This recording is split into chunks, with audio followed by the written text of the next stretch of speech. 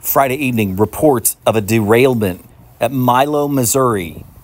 18 cars.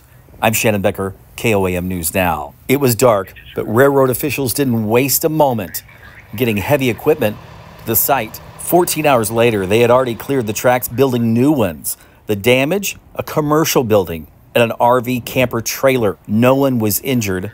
Camper trailer still had an extension cord hooked up to it.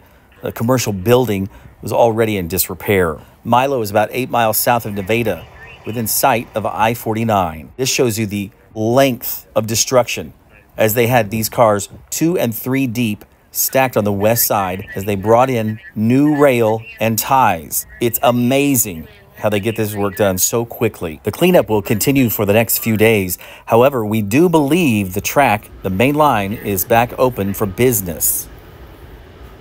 Click the bit link for updates. This breaking news story in Vernon County at Milo.